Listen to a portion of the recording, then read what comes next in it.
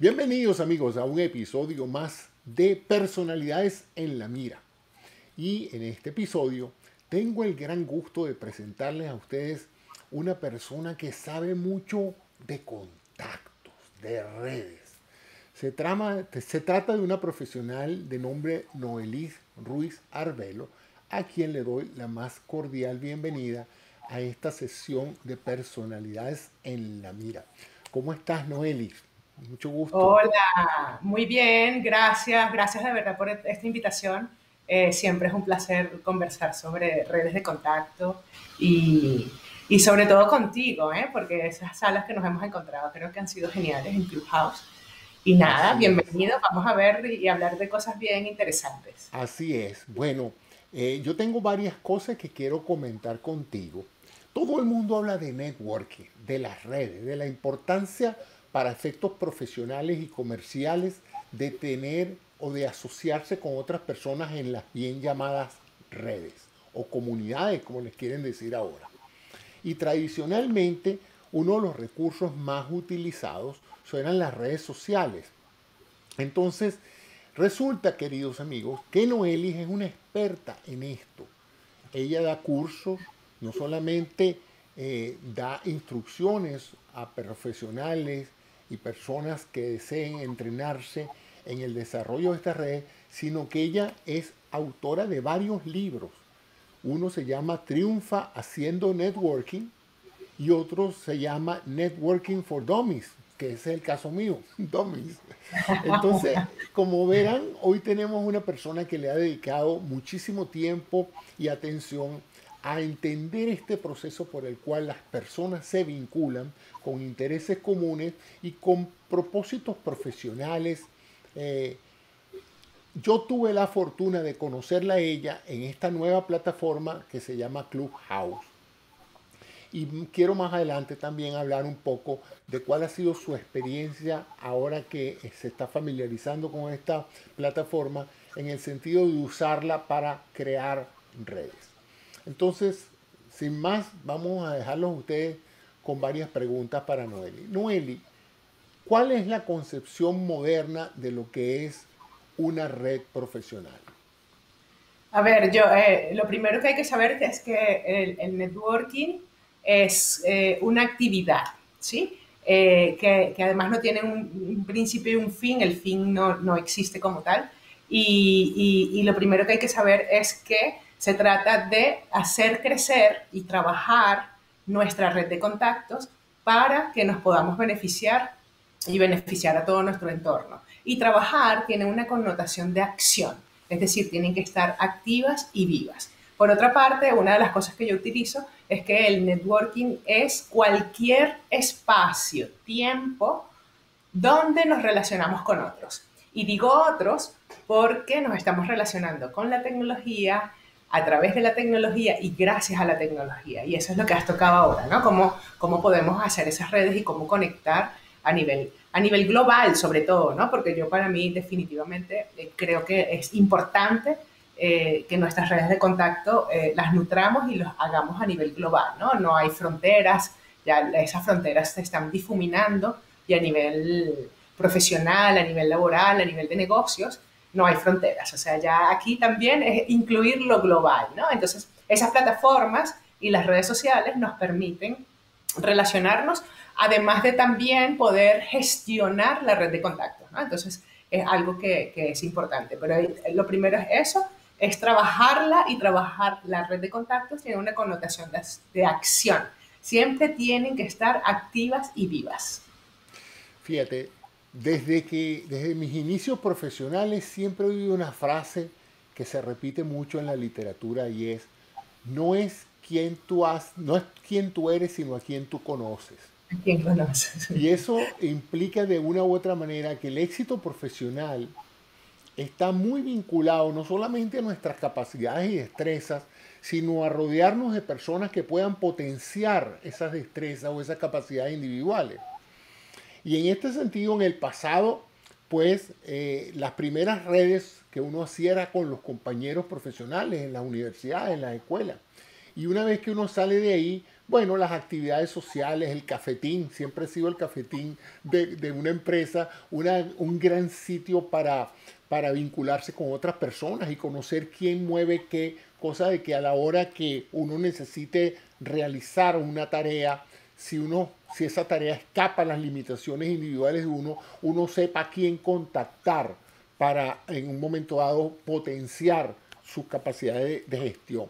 Sin embargo, ¿cuáles son las reglas en general que uno debe tener para que la red de contacto lo valorice a uno y lo respete a uno la imagen que uno proyecte ante la red? Porque no es lo mismo, la red de contacto no es simplemente decir, mucho gusto, yo me llamo José Antonio Cisnero, quiere tomarse un café conmigo. O sea, es más que eso.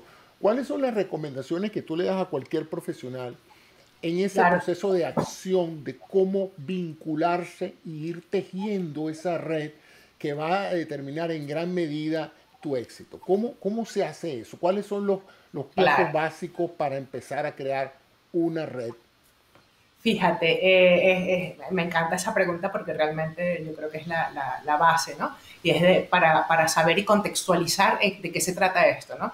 Y, realmente el networking es un proceso. El networking no es un evento, ni un contacto, ni hoy me tomé el café. El, evento. el networking es un proceso que también, aparte de las redes sociales y todas estas plataformas, puede ser en cualquier lugar. Vamos a conocer personas y ahí comienza un trabajo.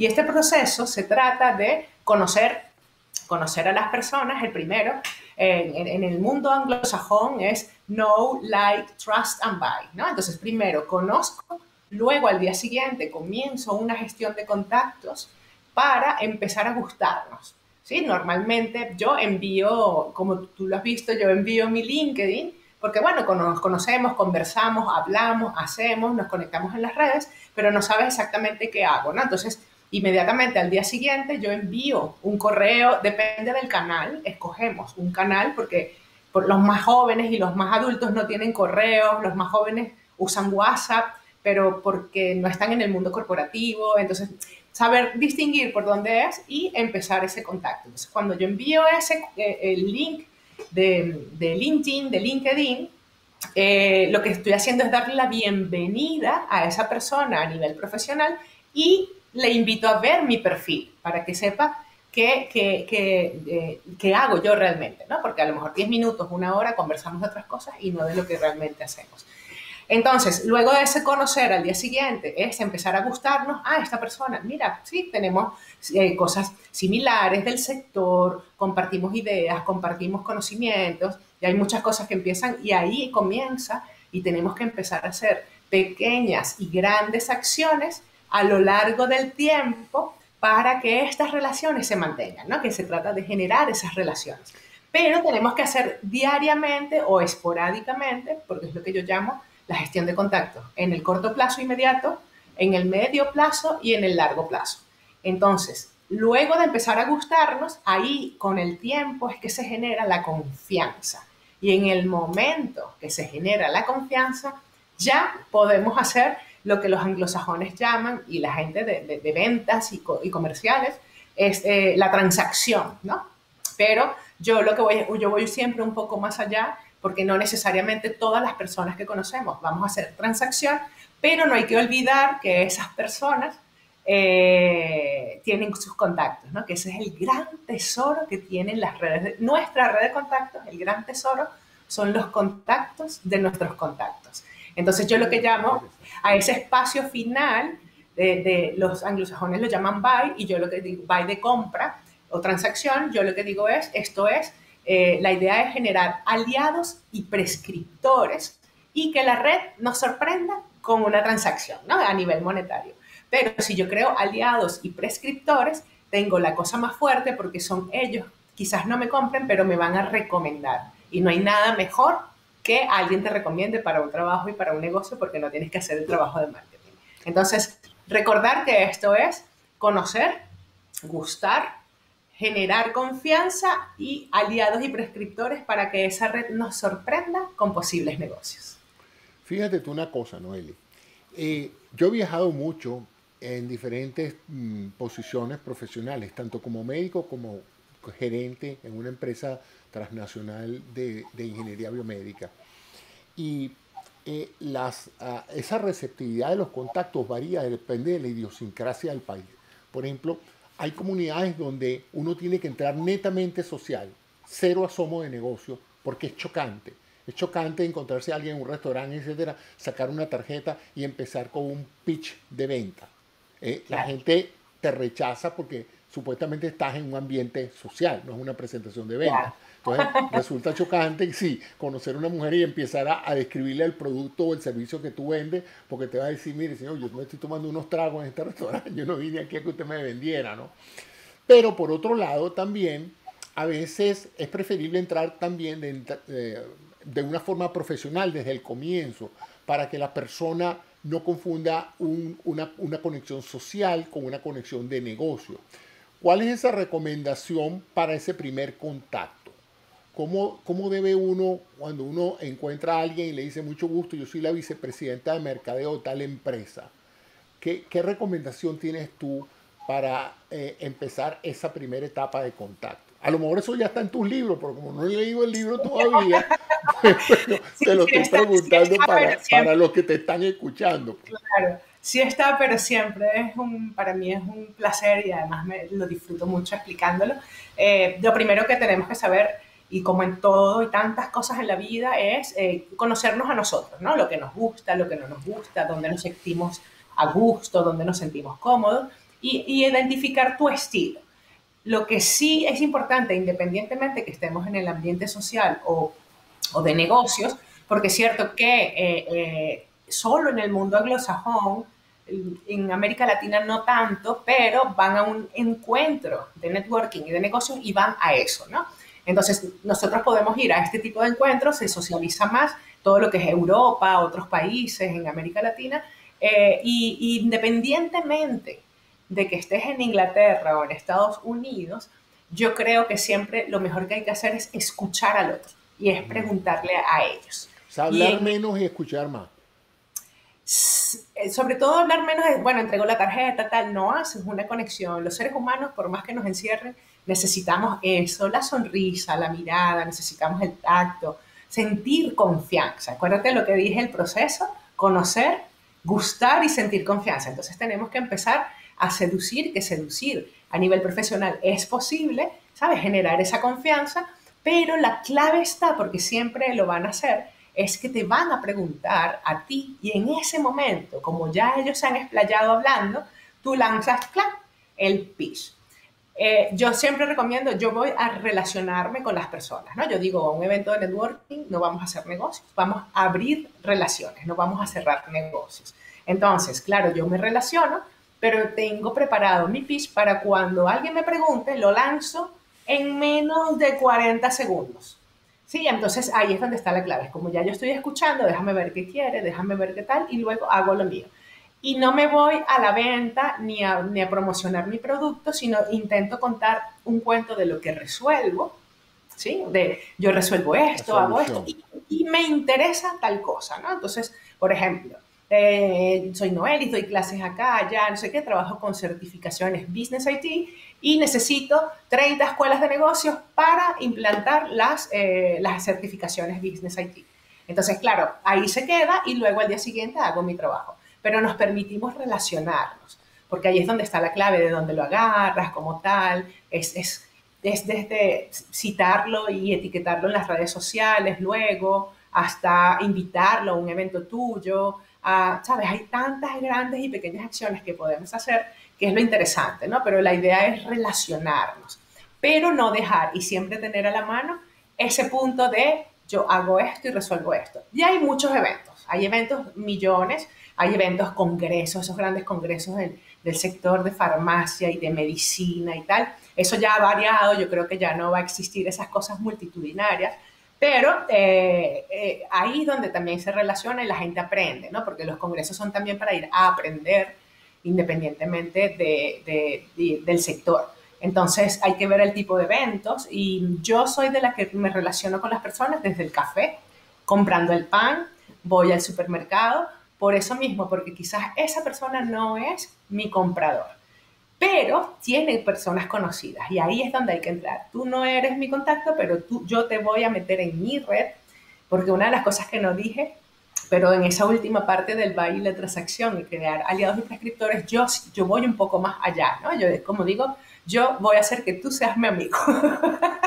yo voy a la amistad, porque no hay nada más bonito que una amistad de verdad. Entonces, claro, yo voy y me tomo mi tiempo. En algún momento ellos van a decir, es que Noelis no, eh, no se ha salido de aquí, yo voy a estar ahí presente, ¿no? Entonces, eso es lo interesante, cada quien tiene su estilo, pero yo sí es, como ampliar mi red de contactos y mis amistades, porque al final de cuentas ellos también nos enriquecemos como seres humanos. Nos, eh, realmente es eso, ¿no? Entonces, es compartir un café, una fiesta o salir o un cine y está la otra parte eh, más profesional que también nos enriquece. ¿Cómo registras esa información? ¿La mantienes en el coco o llevas un, un librito o lo tienes una aplicación? Yo te voy a poner un ejemplo de uno, uno de, de, de, las personas que yo supervisaba, tenía un mecanismo bien interesante. Él andaba para arriba abajo con un librito, ¿no? con, una, con una, una libretica. Y cuando él conocía a alguien, después que él se despedía, él anotaba el nombre de la persona, eh, su forma de contacto, si era teléfono, si era correo electrónico, y él lo dividía en eh, prospecto, prospecto inmediato o inmediato, ¿no? Y entonces él ponía al lado eh, algún dato, poner la fecha de nacimiento para mandarle una tarjeta de celebración o lo que sea, o hobby. Vamos a poner que el tipo le gustara el tenis. Entonces él ponía, si en la conversación había surgido que el tipo era amigo del tenis, él ponía tenis, ¿no? Si él hablaba mucho de su esposa, él copiaba el nombre de la esposa. Es una cosa increíble. Y luego entonces, cuando yo le decía, oye, pero tú eres bien acucioso con eso, y me dice, concha doctor, es que usted no tiene idea de lo que esto sirve. Yo después le meto un telefonazo y le digo, ¿cómo está Elena, tu esposa? y entiende, este, forma parte. Eh, ¿Qué importancia es mantener todo ese tesoro de información disponible para contactos sucesivos en esa segunda fase, ¿no? Que es el crecimiento, el rendimiento de eso porque si no tienes que acordarte, y hay gente con muy buena memoria, ¿no? Pero esos no son usualmente los que tienen éxito, creo. Claro, y eso ahí es donde está lo importante del momento que conocemos a la persona y al día siguiente no podemos esperar más de 24 horas porque eh, ahí se activa la, lo que se llama la working memory. Entonces, que es la memoria de trabajo. Y la memoria de trabajo tiende a filtrar información y por eso es que muchas veces no nos acordamos del nombre de las personas. ¿no? cuando estamos trabajando, eventos sociales, eventos de networking. Yo tengo que preguntarlo hasta tres veces porque no me acuerdo. Claro. me da vergüenza porque me lo acaban de decir, tengo que volverle a decir, perdón, ¿cómo me dijo que se llamaba? A mí me pasa. Sí, a mí me pasa. Sí, es cierto que hasta antes de la pandemia todavía utilizábamos las tarjetas y las, las, las tarjetas estas de, de visita.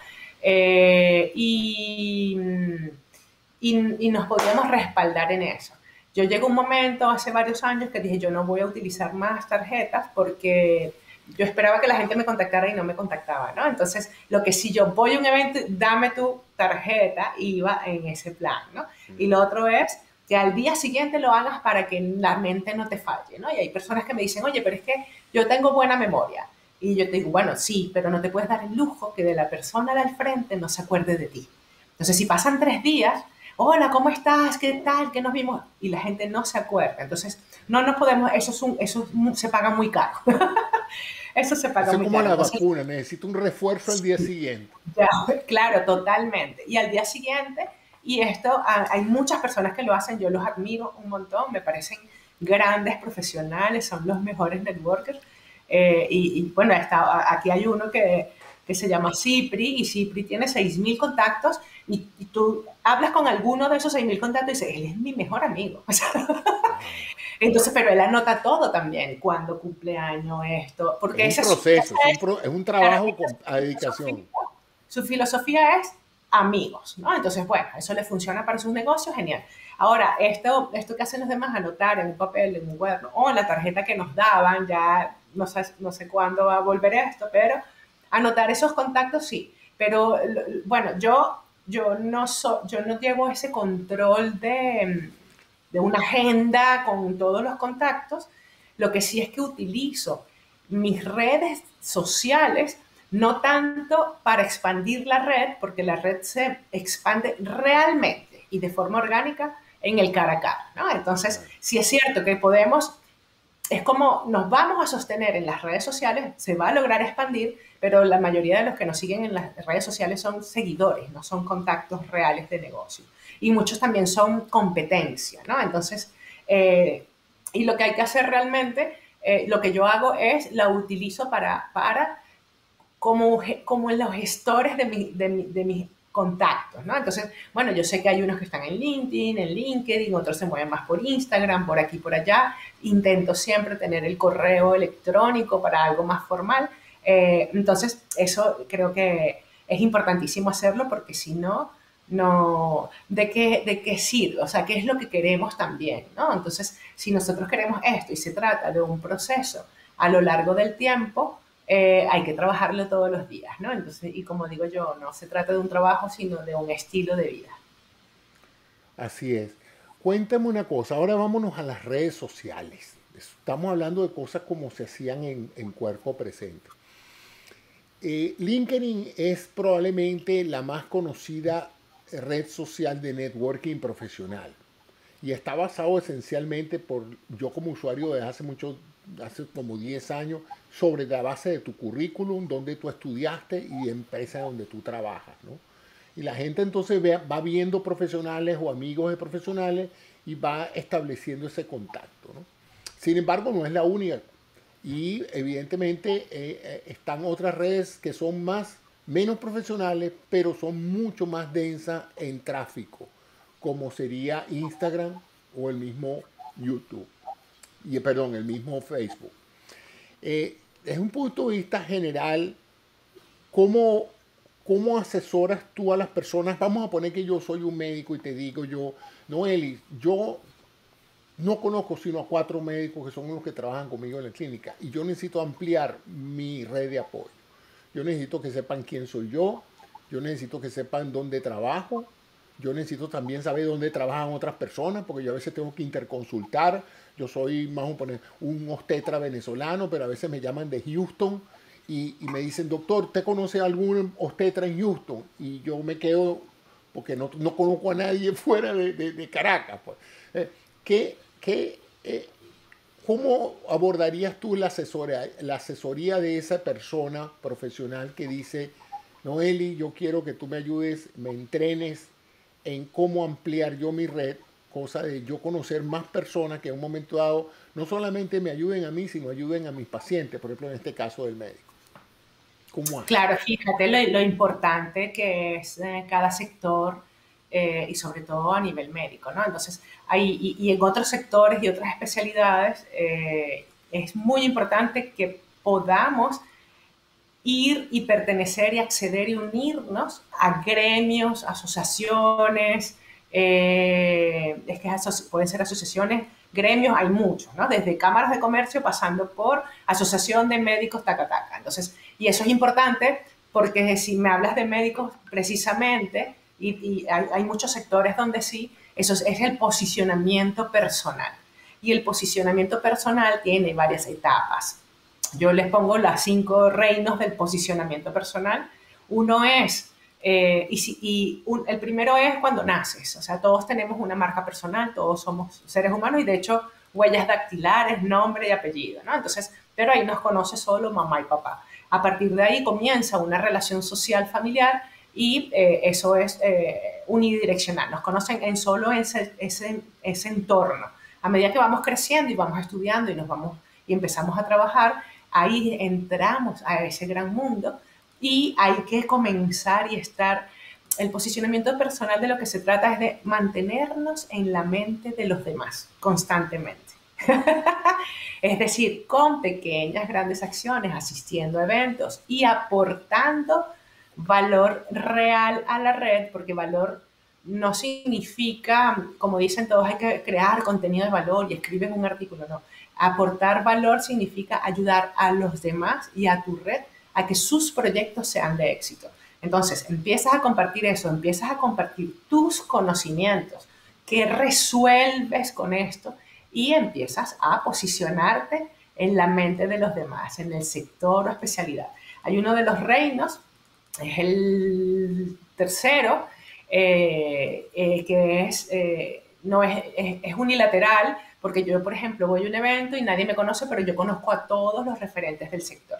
¿Sí? Entonces, el, el siguiente es cuando es bidireccional. Yo voy a ese evento, me conocen a mí y a mí me conocen. Me conocen a mí, perdón, y yo conozco al resto y, y entre todos hacemos, eh, hacemos una sinergia, ¿no? Y eh, el sector también, eh, nosotros necesitamos de ese sector. Pero está el reino del referente, que es el más alto, son yo influenciadores o influencers o tal, no los llamaría tanto, sino referentes reales, y el sector necesita de esas personas. Entonces, en cualquier lugar donde vaya, siempre te van a necesitar y tú eres el que aportas valor, haces que, ese, que, ese, que ese sector y esa especialidad crezca y se vaya nutriendo, ¿no? Entonces, yo, por ejemplo, he entrado eh, eh, todo lo que es eh, la gente de marca personal, que aquí están grandes cracks, y en el mundo empresarial, el mundo de las startups, el, el ecosistema emprendedor, pero además hay muchos en muchos sectores y especialidades diferentes, porque es lo que me permite a mí eh, mantenerme en la mente de los demás, ¿no? Dando clases por acá, haciendo esto, escribiendo artículos, dando charlas, colaborando con otras personas también, eh, o proponiéndoles, oye, a este evento o a un otro evento. Hay algo interesante también, estas personas que, como me dices tú, cuatro o cinco médicos es su red de contactos, entonces que bueno, que él se invente algo tanto que invite a otras personas que va conociendo para ir a un evento de alguien o que cree yo crear mis propios eventos e invitar a algunas personas para empezar esa relación, ¿no? De mira lo que hago, qué podemos hacer, porque lo otro es que LinkedIn, LinkedIn está pasando por un detalle interesante eh, y es que Facebook, la gente está migrando a LinkedIn. Entonces, Ahora nos encontramos en el timeline, que ya no es un timeline, nos encontramos que la gente está posteando cosas como en Facebook, ¿no? Entonces hay una receta de cocina, te encuentras con, con unas estampitas de la santa no sé cuánto y empiezan ese tipo de cosas o un, no sé, un a nivel de peluquería o de maquillaje y entonces no, no entran y no calan. Y lo otro que está haciendo, de eso eh, pasó mucho en la pandemia, y la gente estaba como desesperada, entraban, abrían cuentas en LinkedIn y LinkedIn sin saber cómo funciona y igual que hacen en otras redes, te atacan directamente. Ah, eres mi contacto, mira lo que vendo. Vamos a hacer. Hay se, muchos se ha ido desnaturalizando un poquito el carácter profesional de LinkedIn. Sí, al momento que se hable, como digo yo, nos quitamos la corbata y esto se convirtió en un botellón, ¿no?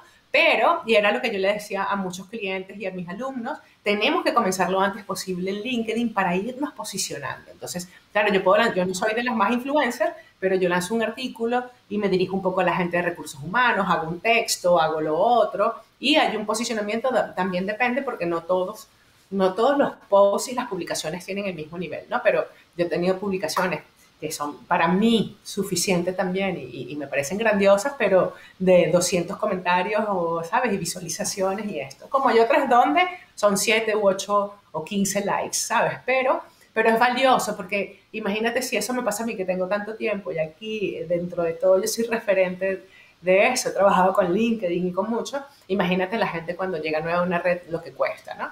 Eh, y lo otro es no, no, no enfocarse mucho en los aviondos, y en los cracks de cómo funcionan las redes sociales, porque eso cambia cada tres meses. Entonces, están todos haciendo lo mismo que hacen los, los que llegaron antes a la red y no les funciona. Oye, pero es que no tengo seguidores, pero es que tú tampoco sigues a nadie. Entonces, es como sentarme en el evento, yo estoy aquí, vengan a verme porque yo soy la reina y me tienen que conocer. Nadie se va a acercar si yo no me acerco, nadie se va a acercar si yo no hablo, ¿no? Entonces, en las redes sociales pasa lo mismo. Vamos a vamos a, relacionarnos, ¿no? Yo lo uso así, la gente que me sigue, veo el perfil eh, eh, y, lo sigo y después veo, ah, que no me sigues, entonces no me interesa, ¿no? no yo quiero relacionarme, yo no quiero que o me sigo, yo no te sigo, porque sí, no, no, mira, vamos a relacionarnos a ver qué pasa. Bueno, y así llegamos a Clubhouse. Es decir, ya había empezado el año pasado, pero yo me enteré este febrero de que eso existía. Entonces te pregunto, porque ahí nos conocimos. Sí. Hicimos networking y me caíste súper simpática y dije, no, yo la tengo que traer a la mira. Está hoy en la mira. Cuéntame tu análisis de Clubhouse como herramienta de networking. ¿Cuáles han sido tus opiniones, tus recomendaciones? ¿Qué potencial le ves? Cuéntanos. Acuérdate que mucha gente que nos está escuchando no sabe lo que es Clubhouse. Ya en algunos, algunos que otros videos lo he mencionado, pero descríbenos un poquito cuál es el potencial de Clubhouse que la hace diferente a otras plataformas de, de redes sociales para efectos de networking. Claro, fíjate, eh, lo interesante, bueno, tú y yo entramos desde un principio en lo que es el mundo de habla hispana, ¿no? Entonces, eso también tiene un, un, beneficio a lo largo del tiempo. Ahora van llegando poco a poco, la gente no sabe muy bien eh, cómo funciona, pero todos sabemos que es súper amigable. Al segundo día ya manejas Clubhouse como, como un experto. Eh, lo interesante, porque bueno, esta plataforma es de audio, es como si fueran esos podcasts, entonces, claro, nos invitamos y estamos todos juntos conversando. Y ahí es donde está lo interesante porque hay una interacción, hay una posible interacción si queremos o no queremos. Es posible esa interacción y participar y, y ser escuchados, ¿no? Que, normalmente lo que nos pasa y pasa con, que no quiere decir que no vaya a pasar con Clubhouse, ojo con esto, pero hay algo de cómo funciona el negocio y la filosofía de, este tipo de plataformas, ¿no? En Internet hay muchas otras cosas también, pero funciona y, ellos eh, en un principio, nosotros entramos y las conocemos, entramos por ejemplo a Facebook y nos encantaba porque, wow, me encontré con las personas del otro lado del mundo y con esto y amigos del año tal, taca. Entonces era fascinante ese mundo y poder ¿sabes? Relacionarte, compartir fotos, tal. Comenzó una cosa bien interesante que nos gustaba a todos. Pero llega un momento, eh, porque ellos quieren a todos los usuarios del planeta. Entonces, en el momento que ellos tienen a todos los usuarios del planeta, hace eso hace una curva, suma cero. Entonces, ahí la plataforma dice, tengo que ahora crear un nuevo modelo de negocio. Entonces, ese modelo de negocio nuevo es vender nuestra data, ¿no? Entonces, eso es lo que estamos viviendo porque además también ellos nos minimizan, nos ningunean, ellos ahora, por ejemplo, la gente, yo posteo algo, pero es para que Instagram y Facebook les dé la gana a ver quién lo lee, porque no lo leen todos mis contactos, no les llega a todo el mundo. Uno ve cuatro, mil contactos y uno cree que lo que uno acaba de tenerlo lo, aparecen en esas cuatro mil eh, muros y eso es mentira. Si a mí me han dicho que a veces si uno no paga por la publicidad, prácticamente no lo ven más de 10, 20 personas. Entonces, claro, a, a, medida que ha pasado el tiempo, está pasando esto, solo ganan ellos en la plataforma, nosotros no tenemos derecho a opinar. Al, fin, al final te van guiando y te van diciendo, tienes que postear esto porque sí, esto sí, esto no, y yo soy el que decido quién de tus contactos lo lee. Entonces ya eso hace una relación eh, de verdad que es, es, denigrante, ¿no? Es, es, hasta, puede ser hasta humillante, pero bueno, es el negocio. Lo que hay que ver es que esto es un negocio. Entonces, bueno, vamos a tratar de ir y nosotros adaptándonos a otro lado y vemos también cómo funcionan las otras, ¿no? Son tres cuartos de lo mismo. Ahí vamos, está pasando el LinkedIn. Aparte que llega una cantidad de gente que no sabe cómo funciona y nos vemos con la receta de cocina. Eh, que no está mal, a mí me encanta cocinar, ¿no? Pero yo creo que hay redes de redes. Pero bueno, cada quien en lo suyo eh, y, y, eso es muy valioso, ¿no? Entonces hay que ver, mira, la plataforma, por un momento yo voy a poder utilizarlo así y después ellos nos van guiando y creemos que nosotros somos, ¿sabes? ¡Wow! Sabemos, mira qué bien manejo yo las redes sociales y no.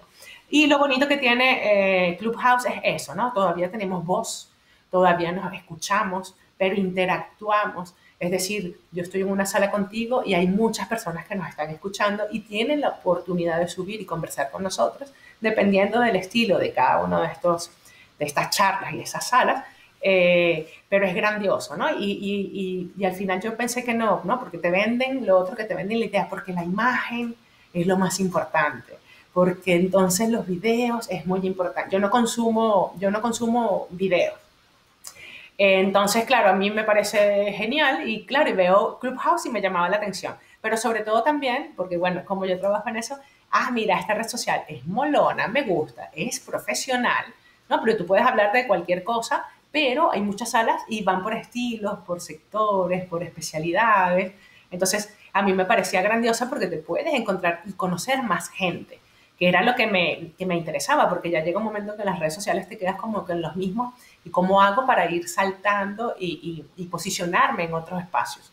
Entonces esto es lo grandioso que tiene Clubhouse y definitivamente cuando estamos ahí no nos podemos salir, ¿no? Tiene algo que es como aditivo eh, y yo me puse una hora a partir de la noche porque si no estoy ahí hasta las 3 de la mañana. Sí, es fascinante. Uno aprende mucho. Yo he aprendido mucho, no solamente de otros, sino de mí mismo, porque la verdad es que aunque yo siempre he sido un gran conversador, nunca había tenido oportunidad de conversar con tanta gente al mismo tiempo. Déjame ponértelo. O sea, por ejemplo, yo di clase muchas veces, pero mi grupo de clase eran 20, 30 alumnos, o sea, no más que eso. Eh, y en términos sociales, uno habla con dos o tres personas en una reunión, una cosa de esa. Aún en una reunión de negocio, en una junta, si acaso te tendrás 12, 14 personas. Pero aquí tú estás expresando tu opinión y pueden haberte, estarte oyendo 80, 90 personas o más. Y en algunos casos tienes tú también la posibilidad de que te hagan preguntas, que es algo que cuando tú das una clase, dos o tres personas comentan o, ratifican o, rechazan lo que tú estás diciendo, pero aquí no, aquí hay mucha interactividad y eso hace que surjan celebridades como tú. Por ejemplo, yo, yo te escuché en una, en, una, en una de estas salas hablando y dije, no, esta muchacha tengo yo que entrevistarla porque es que de verdad que eh, tiene una, una, gran experiencia en esto y, y además la capacidad de explicar y de darse a entender. No es fácil para todo el mundo hacerse entender. Entonces, eh, eso es una, un, recurso extraordinario de la plataforma. Cuéntame ahora esa otra plataforma que tiene a todo el mundo medio loco y que yo realmente no he terminado de entender, aunque la bajé, pero la verdad es que cada vez que entro salgo corriendo que se llama TikTok. Cuéntame qué y qué valor o qué importancia le ves tú a TikTok para efecto de networking profesional. Pues. Si lo que quieres aprender a bailar, está bien, pero, pero apartando eso, no, porque es que hay gente que te dice que TikTok tiene tanto tráfico que tú realmente puedes generar ciertos contenidos en TikTok que te hagan crear una base de seguidores a los cuales llegarles con un mensaje profesional. Pero yo, ¿qué opinión tienes tú de esto? Sí, mira, yo como, como todo en la vida, ¿qué necesito, qué quiero y dónde está mi audiencia? ¿Sí? Porque claro, hay muchas marcas que tienen una audiencia de jóvenes y de que van y hacen una campaña y les resulta fabuloso. Pero yo me meto a, TikTok y yo hago, no sé, es que no sé ni qué hacer además. Se puede, claro que ahora lo estamos viendo con los reels en Instagram y como te dije antes, yo no consumo videos no importa que sean minis, largos o tal, yo no consumo videos, ¿no? Entonces, lo consumo cuando doy clases o algunas cosas que son muy, muy, muy importantes y que yo pueda estar estable para ver lo que puede ser haciendo ejercicio tal, pero tiene que ser una cosa que me llame muchísimo la atención para dedicarle ese tiempo. Yo no tengo ni televisión en casa, ¿no? Entonces... Una mujer muy ocupada, entonces. Una mujer muy ocupada. No soy consumidora de eso, pero creo que es importante saber cuál es mi audiencia ¿Dónde está mi audiencia? ¿A dónde quiero ir yo? Porque yo utilizo mucho Twitter, que tengo varios años con eso, y tengo una cantidad de seguidores de tal. Cuando voy a eventos, cuando doy conferencias, se suele eh, postear mucho por Twitter eh, eh, inmediatamente. Entonces, claro, a mí me parece fabuloso Twitter, pero va a depender, como siempre digo, va a depender dónde está mi audiencia y a quién me quiero dirigir, porque mi audiencia puede ser estudiantes. Yo tengo eh, profesores, mm, eh, colegas de trabajo, y su, su, Instagram es constantemente un bochinche, porque es cierto, yo di clases más que todo en, en, en, escuelas de negocio, ¿no? Entonces sube un poquito la edad, pero es que ya los estudiantes de escuelas de negocio terminan la carrera y van a hacer el MBA. Entonces son 25 años, pero si yo me pongo así de chistosa, y además no soy muy seria, ¿eh? yo, yo hago barbaridades en las redes y digo lo que, lo que me da la gana, pero es que a veces yo veo unos colegas que son y les queda muy bien. Dices que, claro, y ellos son directores de marketing y además marketing y ventas. Entonces, claro, ellos dicen, es que nuestra audiencia es esta, entonces yo tengo que ser simpáticos con todos los jóvenes.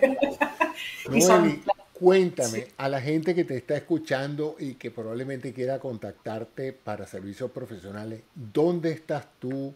¿Qué servicios ofreces? ¿Cuál es tu, tu actual situación? Primero, ¿desde dónde me estás hablando, Noeli? Ahorita, en otra época uno, uno suponía que todo el mundo era local, pero ahora no te sorprendes si te estás hablando de, del otro lado del mundo, ¿no? ¿Dónde estás? Sí, yo estoy en Madrid, tengo varios años acá y eh, aparte de ser profesora en dos universidades y varias escuelas de negocio, doy charlas y todo esto, eh, lo que sí me dedicaba era a crear estrategias eh, personales, ¿no? de, profesionales, pero sobre todo de, de, altos cargos directivos, donde llega un momento como que no saben si pueden ir hacia, hacia algo más. Entonces, eh, como yo estaba en escuelas de negocio y les digo a todos los alumnos, después del MBA vas a ser director por cinco años máximo o diez, pero después tienes que montar tu negocio, ¿no? Entonces, tienes que comenzar a posicionarte ahora, porque, y además hay mucha gente que, que no lo escucha o nadie se los ha dicho, y los ves, ya le entregan una cajita feliz y ese dinero que ha pasado 50 años en IBM, eh, la cajita feliz se terminó un año. Ahorita te están retirando no a los 50 años, sino a los 30 años para afuera. Mira, y, te pueden ubicar por ahí, por arroba Noeli Ruiza, ¿no? Sí, Noeli Ruiz, eh, en, en, todas las redes sociales eh, estoy. TikTok no. No, yo tampoco estoy, bueno, yo no estoy en TikTok, no he publicado nada, he estado tentado a, echar, una bailadita, pero todavía no lo atrevo. Las que más utilizo es Instagram, LinkedIn y Twitter, esas son mis redes preferidas, pero bueno, estoy un poco en todas también, eh, pero soy accesible, ¿no? Las personas que me sigan y queramos conversar, aquí estoy realmente para eso, ¿no? Hay mucha gente que dice, ay, quisiera hablar contigo, y yo les respondo, wow, pero sí, sí, es que eso es lo que vamos a hacer, es relacionarnos. Luego vemos qué tipo de negocios y nos hacemos millonarios. Bueno, como ven, yo no podía menos que entrevistar a esta adorable mujer, que además es una buena profesional. Más información, aquí están sus libros, Triunfa haciendo networking y Networking for Dummies. Eh, y bueno, eh, contáctenla si piensan que ella de una u otra manera puede ayudarlos a orientar, no solamente a nivel personal, sino corporativo, una campaña para aprender el arte y la ciencia, porque tiene los dos elementos, ¿no? Es un y sobre arte, todo es un arte hacer contacto, pero también hay un elemento técnico que ella describe muy bien en estos libros. Bueno, quería agradecerte, Noelis, esta oportunidad tan extraordinaria que me has brindado de conversar contigo sobre este tema que ya veo que te apasiona y espero pues que podamos seguir haciéndonos haciendo entrevistas sobre esto y otros temas que sean de tu interés. Siempre estarás en lamira.net para conversar conmigo y con las personas que te escuchen y bueno, de nuevo agradecer tu, tu tiempo. A ti, gracias de verdad, siempre es un placer, bienvenidos todos. Eh, y bueno, vamos a hacer un mundo más bonito y, y que merezca la pena vivir en él. Estoy seguro que sí. Bueno amigos, eh, con esta me despido hasta otro episodio de Personalidades en la Mira. Ustedes saben que siempre les traigo gente interesante, nunca les he fallado, ni les voy a fallar porque estoy conociendo cada vez más gente simpática, inteligente y con mucho que aportar en esta red de Clubhouse. Y espero pues que me sigan en lamira.net, que es mi dominio. No se vayan para Facebook, no se vayan para ninguna otra parte. En lamira.net están todos los videos para que no se pierdan facilito y ya saben, pues. Hasta un próximo episodio. Muchas gracias, Noeli, por todo. Gracias, chao, un placer. Chao, amigos.